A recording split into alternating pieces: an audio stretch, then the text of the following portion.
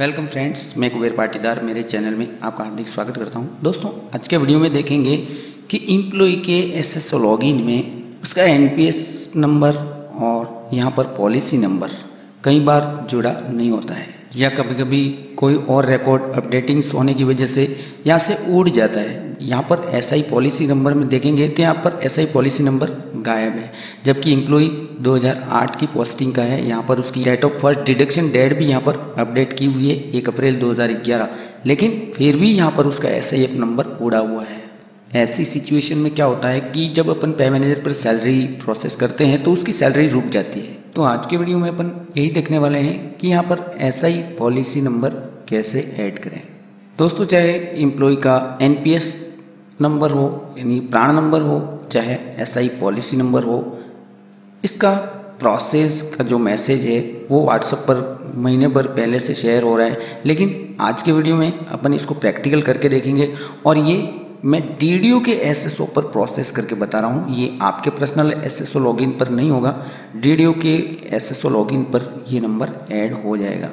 दोस्तों, इसके लिए आप डी का एस एस लॉगिन करेंगे। यहाँ पर कस्टमर और कस्टमर में नीचे, रेडियो। यहाँ पर आपके एस एस लॉगिन में ये नहीं आएगा। रेडियो का एस एस लॉगिन अलग होता है। ये तो मेरा पर्सनल एस एस लॉगिन है, इसलिए इसमें रेडियो ऐड है। अब क्या होता है कि यहाँ पर रेडियो, ये रेडियो का एस एस लॉगिन है। इसमें एम्प्लॉय की टैब से आप उस एम्प्लॉय को सेलेक्ट करेंगे। Transaction transaction after employee employee को सेलेक्ट करने के यहाँ पर तीन ऑप्शन आपको मिलेंगे। इसमें पहला ऑप्शन है यहाँ पर एम्प्लॉय नेम अपन एम्प्लॉय नेम से ही सिलेक्ट कर लेते हैं। यहाँ पर मैंने एम्प्लॉय का नाम टाइप कर लिया।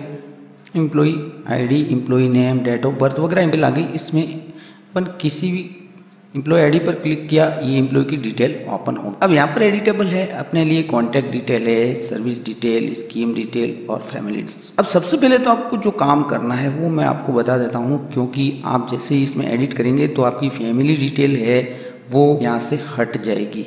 इसका स्क्रीनशॉट आपको पहले से ले लेना है। ये एम्प्लॉय की फैमिली डिटेल है। ये एडिटेबल करने के बाद में वापस हट जाती है। तो इसको आप वापस ऐड करें। अब आ जाते हैं अपन स्कीम डिटेल स्कीम डिटेल पर अपन को यहाँ पर पॉलिसी नंबर ऐड करना है। बाकी इसकी टोटल इन्फॉर्मेशन यहाँ पर अपडेट है। तो इसको पहले इसी सिचुएशन में अपन यहाँ पर सबमिट कर देंगे।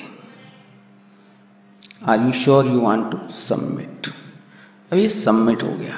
Data save successfully. तो ये डाटा सेव सक्सेसफुली। अब यहाँ पर क्या होता है कि वापस अपन जाएँगे और ये आपको लॉगिन करना है, केवल मॉर्जिला फायरफॉक्स में सपोर्ट करेगा। अब अपन यहाँ पर स्कीम डिटेल में जाएँगे। स्कीम डिटेल में वो नंबर अपन यहाँ पर पॉलिसी नंबर ऐड करेंगे। पहले ये पॉलिसी नंबर ऐड नहीं हो रहा था, अपने लिए अब एडिटेबल हो गया है। एडिटेबल होने के बाद में यहाँ पर अपन ने इम्प्लॉय का पॉलिसी नंबर ऐड कर दिया। ये एम्प्लॉय का ऐसा ही पॉलिसी नंबर है। अब यहाँ पर लोकेशन नहीं है तो ये आप लोकेशन डाल सकते हैं। डिस्ट्रिक्ट लोकेशन है यहाँ पर। और यहाँ पर फ़र्स्ट डिक्लेरेशन की डेट है, वो भी आप सबमिट करते थे आपके जो भी पॉलिसी बॉन्ड में डेट है, वो सबमिट कर सकते हैं। मुझे तो केवल यहाँ पर, केवल एक नंबर ऐड करना है तो मैं वही प्रोसेस आपको इस वीडियो में बताऊँगा। बाकी की इन्फॉर्मेशन मेरे पास में इस एम्प्लॉय की है भी नहीं, इसलिए मैं नहीं बताऊँगा।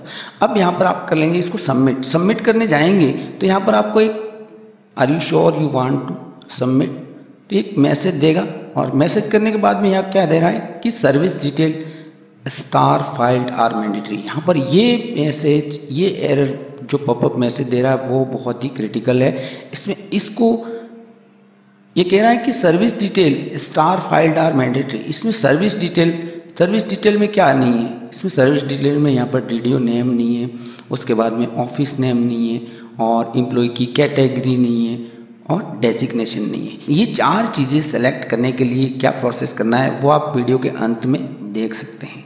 लेकिन मैं तो अभी यहाँ पर ले आता हूँ। अब यहाँ पर आप डायरेक्ट क्लिक करेंगे तो यहाँ पर डीडीओ का नेम नहीं आएगा। जब डीडीओ का नेम नहीं आएगा तो यहाँ पर ऑफ़िस नेम भी सिलेक्ट नहीं होगा। अब देख रहे हैं, मैं कई बार कोशिश कर रहा हूँ लेकिन यहाँ पर ये ऑफ़िस नेम और डीडीओ नेम और यहाँ पर कैटेगरी वगैरह कैटेगरी तो ओपन हो रही है कैटेगरी के सबॉर्डिनेट सर्विस अपन कर लेते हैं यहाँ पर। लेकिन पहले यहाँ पर अपन को चाहिए डीडीओ नेम अब ये डी नेम कैसे आएगा, वो आप इस वीडियो को पूरा देखेंगे, तभी आप कर पाएँगे। इसके लिए यहाँ पर एस यूनिट और यहाँ पर क्लिक करें। तो ये डीडीओ की लिस्ट आ जाएगी। डी की लिस्ट से आपको वो डी सेलेक्ट कर लेना है, जिसमें वो एम्प्लॉय है। अब मैंने यहाँ पर डी नेम सेलेक्ट कर लिया, यहाँ पर आ गया ऑफ़िस नेम और कैटेगरी अपन ने पहले ही सिलेक्ट ये सबॉर्डिनेट सर्विस है, तृतीय श्रेणी एम्प्लॉय है, इसलिए सबॉर्डिनेट सर्विस अब यहाँ पर डेजिग्नेशन डेजिग्नेशन के लिए आपको थोड़ा सा वेट करना है। यहाँ पर क्लिक करने के बाद में थोड़ा वेट करेंगे तो ये ओपन हो जाएगा। अब इसमें टीचर थर्ड ग्रेड है ये। तो इसको अपन यहाँ पर इसका डेजिग्नेशन सेलेक्ट कर लेते हैं।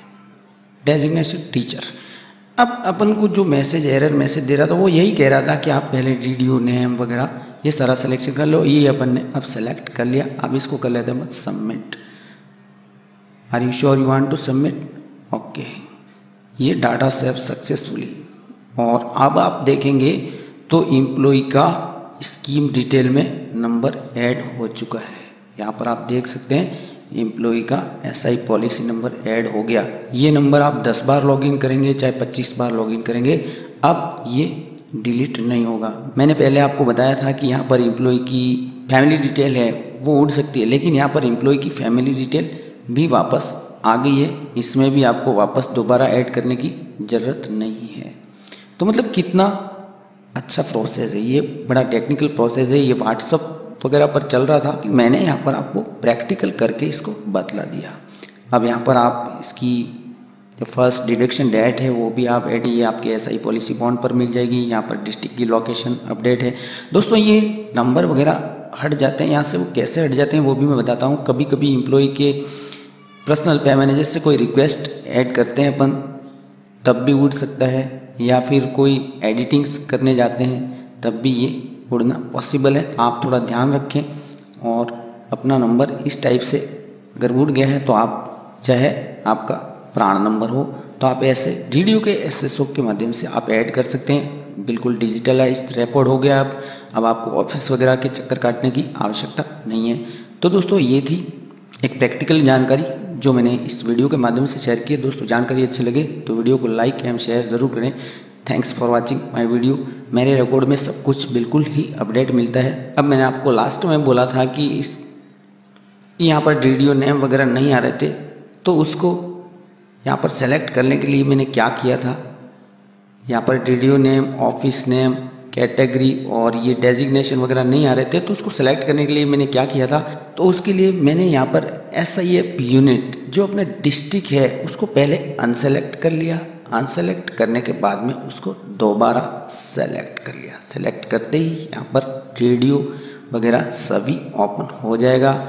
ऑफ़िस नेम भी यहाँ पर वीडियो सेलेक्ट करते ही आपका ऑफ़िस नेम आ जाएगा और ऑफ़िस नेम के बाद में यहाँ पर कैटेगरी आ जाएगी सबॉर्डिनेट सर्विस और यहाँ पर डेजिग्नेशन के लिए थोड़ा सा आपको क्लिक करने के बाद में वेट कर लेना है। तो वो ये आपका डेजिग्नेशन भी आ जाएगा। ये सारी इन्फॉर्मेशन यहाँ पर ऐसे हो जाएगी। तो दोस्तों, ये थी एक बहुत ही टेक्निकल जानकारी जो व्हाट्सएप पर मैसेज वगैरह वायरल हो रहा था। तो उसी के अकॉर्डिंग मैंने यहाँ पर आपको प्रैक्टिकल करके बता दिया। और ये प्रैक्टिकल प्रोसेस आप किस पर करेंगे? Only Mozilla Firefox thanks again